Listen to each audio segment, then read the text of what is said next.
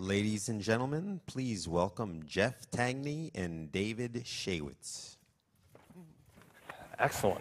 Are we between everybody and dinner or something like that, or drinks? Well, I think we are holding the group back from cocktails, which we're very cognizant of. All right. So here's the thing that intrigues me. Uh, Silicon Valley is um, not always known to be super friendly to, uh, to physicians. I've heard from Shamit that we're uh, everything about physicians suboptimal. Their uh, systems are suboptimal. The people are suboptimal, but he used a different word. Um, I heard from um, uh, Vinod that we're sort of poorly performing algorithms. Um, on the other hand, you, for the second time in a row, have um, created this new business that's focused on the customer as you know, the physician as customer. So, is this sort of an act of charity, an act of pity? How did you uh, get involved? Uh, well, thank you, David. Always glad to it's, help. it's not an act of charity. We've, we've done very well focusing on physicians. And to Vinod, who says that half of physicians are below average, I would say 75% of venture capitalists lose money. So you, could, you could take that. Um, yes, this is my second time around in a physician focused uh, software startup. I guess I'm surprised more people aren't focused on physicians. I mean, let's face it, people, we don't have a hospital administrator shortage, we have a physician shortage. And yet it seems, and I love the Extormity uh, presentation earlier, but it seems like so much of our investment in healthcare IT is around making administration easier, more efficient, as opposed to making physicians more efficient. So I didn't have much of a choice. I had two physician roommates at Stanford, and I was a Palm Pilot, you know, amateur programmer and database guy. So they more or less held me down and, and made me produce Epocrates. Uh, so the thing that was, I mean, I remember when Epocrates came out, and I used it as a, uh, as a res, med student, I think, and as a resident. And what was remarkable about it is that it wasn't fancy, it wasn't you know, all sorts of graphics flying around the place, but it was just incredibly useful in sort of the way that UpToDate isn't very elegant, but it's really, really useful. Mm-hmm. So is that sort of the sensibility that you've tried to bring to uh, Doximity? Maybe I'm not sure if everyone knows what Doximity is, but do you want to explain it? Sure, sure. Um, so Doximity is a uh, the leading secure professional network for physicians. Um, we provide a place where physicians can find experts. So we had one the other day who had a patient who was bit by a lab monkey, and the lab monkey had been infected, and there were maybe five people in the world who would know what to do with this zoonosis. And they were able to find three of them on Doximity, searching for that zoonosis, send them a note, and, and get advice, which was great. Um, we also find, uh, provide a place for doctors to manage their schedule and contacts. So once someone has their on call schedule uh, on our product, we see that they use it very frequently. And just their contacts, uh, just keeping track of who your colleagues are and you know, the 200 or 300 different physicians an average uh, primary care physician will deal with in a year. I'll tell you, part of my inspiration, uh, early inspiration for Doximity was while at Epocrates, we were out talking uh, to doctors, one of whom still had a Palm Pilot, and this was in you know, 2007, 2008. And I said, well, you know, when are you going to upgrade? You know, this new thing called the iPhone. and we had been on stage with Steve Jobs, and, you know, we were really pushing the iPhone. And she said, well, the problem is every new partner who joins our practice, she was an endocrinologist, what we do is we have this great contact list here on the Palm Pilot and we beam it over to everyone else. And so they, they needed to keep using the Palm Pilot just to keep track of, in effect, their referral list uh, and phone numbers of other physicians. So today on Doximity, that's been one of the, the surprise hits. Um, we have uh, over 220,000 US physicians, um, 5 million different colleague connections between them.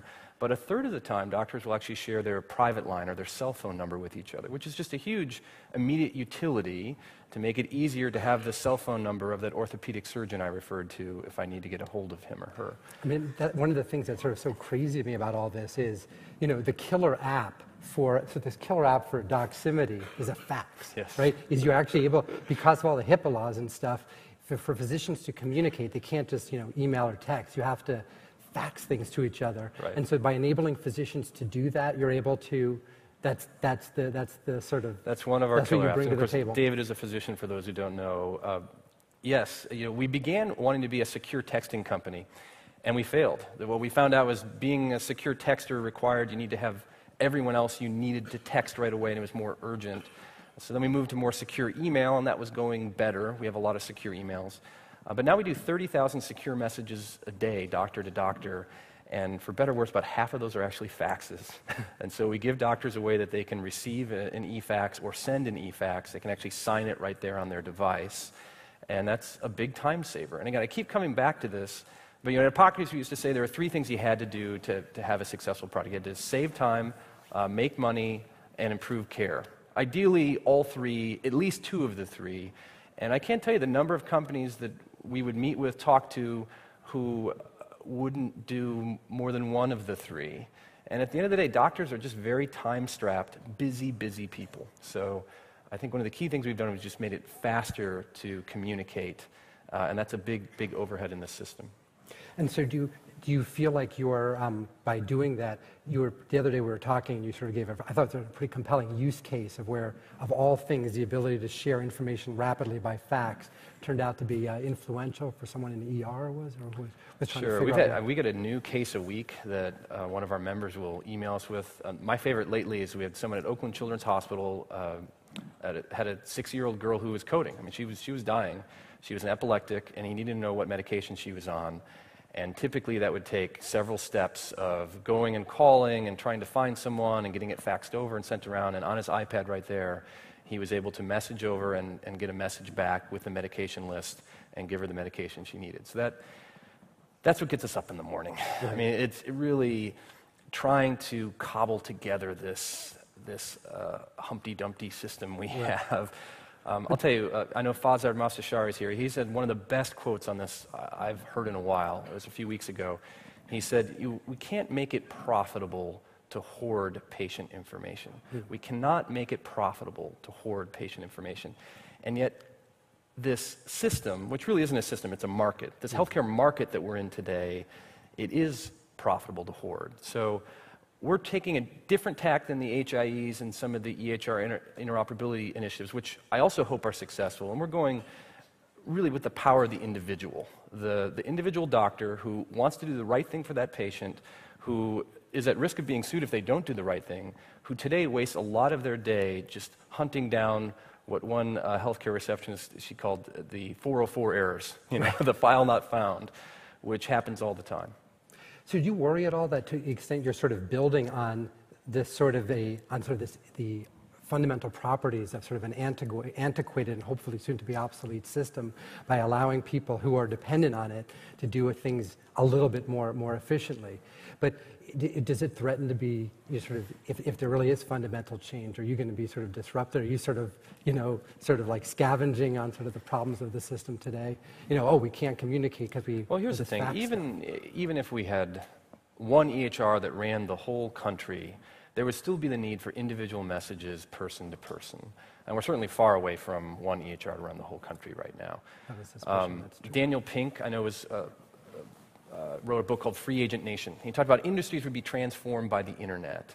And they have uh, journalism, Hollywood. You know, it's really about the individual contractor with their expertise, knowing what they know, contributing to the project, not having to worry about whether or not I work in the New York Times newsroom or not. I can contribute uh, from wherever I am because I have the internet and email, and I can do that.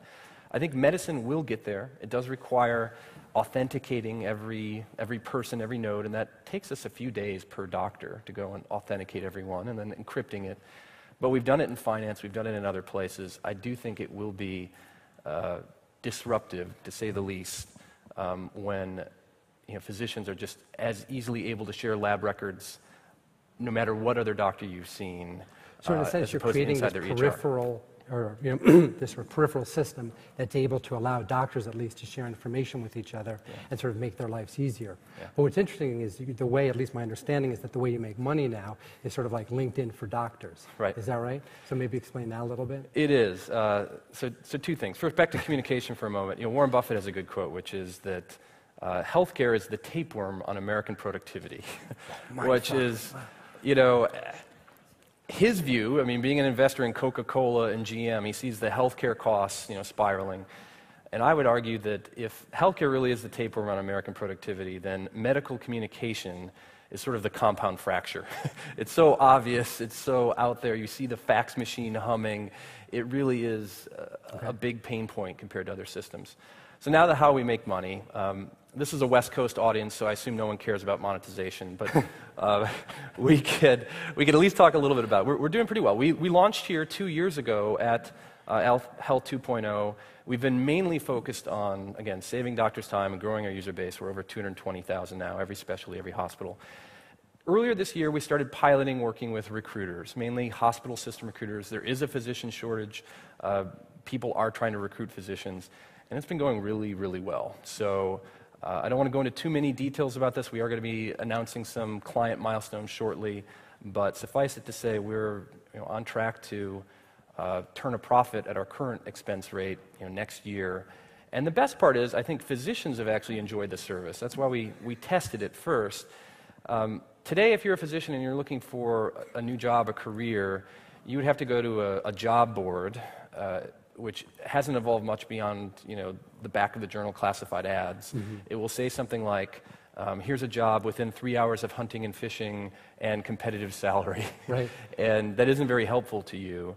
Uh, by making uh, the recruiters not have more than 30 messages a month, we require them to put the salary, the call duty, and the location of the position into the actual you know, core text of the email. We've had really good responses from doctors. It's a way for them, even if I'm not interested in a job, I know what an interventional cardiologist would make in Texas now, and that's interesting to me. So they view it as, as a value add. And so it's definitely the, uh, the exactly the Daniel Pink, turning everyone into free agents and, and, right. and, empowering them.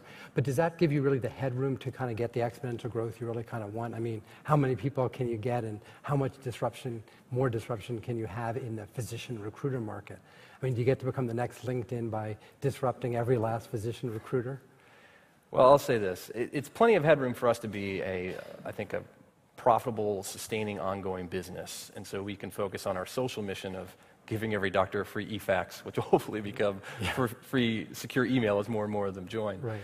Um, but it's just the start of what we'll do uh, financially. I think there's plenty of other systems around uh, sharing data and being that, I think that Visa for healthcare, the, the, the company that keeps the network authenticated, in control, encrypted, but allows uh, patient data and secure messages to move. In the last 30 seconds, you want to just say you had a pretty interesting announcement today about your API. Do you want to say something about that? Yes. So we do have a login with Doximity API. It's been available for several months um, in beta. We're now launching it. We announced it earlier today. We have over 50 different API partners uh, on it if you're setting up a new app or a site and you want a quick way to verify that someone is a physician and know where they're state licensed and know what their research is and have a nice full CV on them, uh, without having to make them go through this full hideous registration process. But you already did that for them. We have already done that for them. We you know, have nearly a third of U.S. physicians already as active members. You can just put that login with Doximity. It's OAuth 2, so very, very straightforward. And, and, the cool thing about this, as I understand it, is that it's not really part of your, mon- your direct monetization strategies. You're not making money off this specifically, but you're just using it to encourage other people to use the resource to make it more sticky and then to encourage more users and to sort of then to monetize it that way. Yeah, it's very much like uh, Facebook Connect or, or other uh, OAuth strategies. All right. Well, thank you so much. I'm seeing thank Matt you, out there, so yes. wrap it up. Thank you. Great.